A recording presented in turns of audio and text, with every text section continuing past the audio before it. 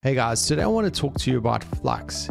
It's a brand new model that's been released by Black Forest Labs, and it's really the best model I've used in Stable Diffusion at the moment.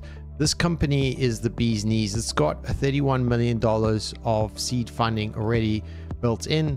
It's integrated straight into Comfy UI from day one, and they've released an open source model which you can actually download today. So in this video, I'll show you some examples of the model that I've been playing around with and I'll share with you the workflow and I recommend you guys go in and have a play with it because I think you'll be blown away just like I was.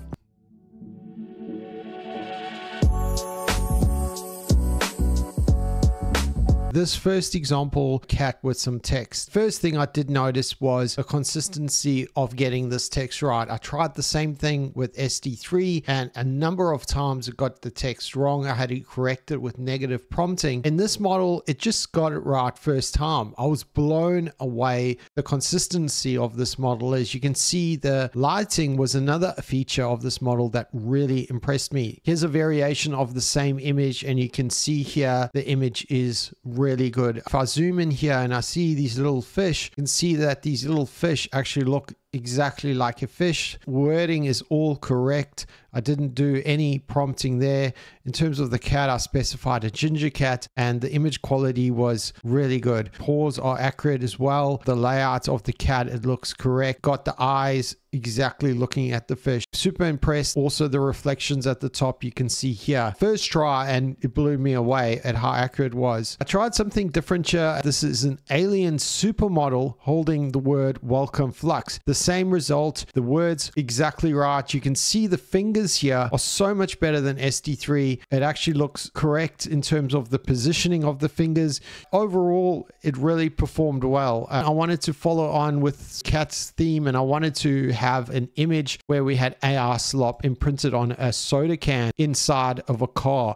And it got this one also correct. Did notice that I did have some issues around the paws. I just changed the prompt slightly and it adjusted it. Really impressive continuing the cat theme. I wanted to then test out the portraits of the model, basically a portrait of a Russian supermodel. And the lighting of this is really impressive. I think it's the soft lighting that really got me with this model. Continuing on from the theme, I asked ChatGPT just uh, for some example prompts and it spat out this one, which was really good in terms of arcane power with some tattoos in the back and the quality of the eyes and everything is just beautiful. Really impressed with this example as well. This is more of a fantasy type of Queen Elf. You can see here with the backlit of the sun.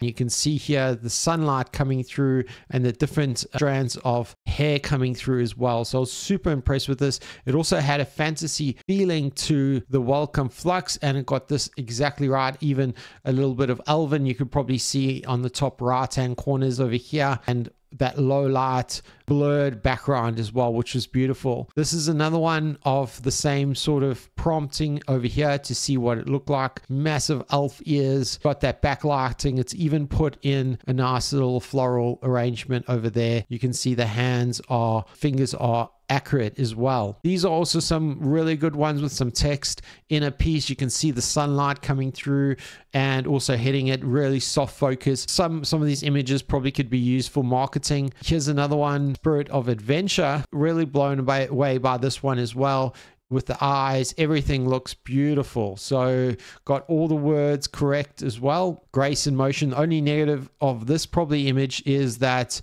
it's not as sharp as I would have liked it in terms of the face. This theme was more of a cyberpunk type of thing, Neon Dreams. It got Neon Dreams exactly right. And it got this sort of image here. You can see probably some fault of it is the quality of that person's face. I'm really nitpicking here with in terms of the image quality. Lighting, fantastic. Reflections on the bottom. It looks like a scene out of Cyberpunk. Fantastic. This is obviously from the creators of Flux over here. You can see some of the detail in terms of the old schoolness of this image. Flux obviously written and the background is blurred. Here's another image as well of a similar type of Starling computer and really impressed. Here's some other examples of Flux Dev. So Flux Dev is obviously the one of the models and it's imprinted here on a cake. So this is really nice. Here's another one of Flux Schnell, which is one of the other models in chocolate as well, printed.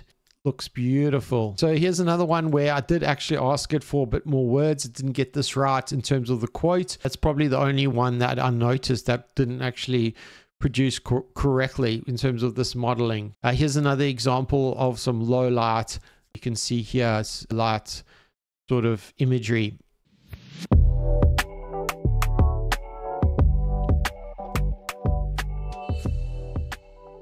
Lastly, this is Comfy UI. If you guys don't know what Comfy UI is, check out this video on the top of the screen to install it and then come back here. Flow I'll share with you is really quick and straightforward. There's just a couple things you need to download. Four files you guys need to download. One for the Flux model, two for the clip, and there's one for the VAE. If you've got a 16 gig VRAM or 24 gig VRAM, I recommend you download this one, which is the 24 gig. You'll get the maximum graphics fidelity. You guys have less than 16, then you can run it on this FP8, which is around 12 gigs. The one thing to note is inside your Comfy UI portable folder within the models, it doesn't go inside your checkpoints folder like it normally does. There is actually another folder called UNet, which you don't have to create. It's already there.